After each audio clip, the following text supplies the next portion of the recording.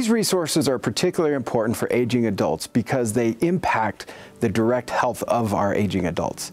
Whether you're talking food, transportation, or simply just the mental well-being, dealing with the isolation that has come from the COVID-19 epidemic.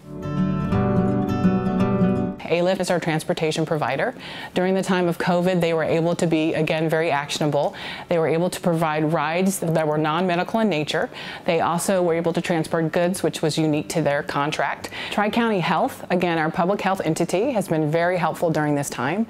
They have kept us up to date on testing, testing sites, um, safer at home provisions, initial provisions regarding COVID when things were a little bit more critical. Hunger Free Colorado and Food Bank of the Rockies have been very active actionable during COVID-19. So they've both scaled up their operations to include older adults with very few restrictions so that they can gather the food items that they need.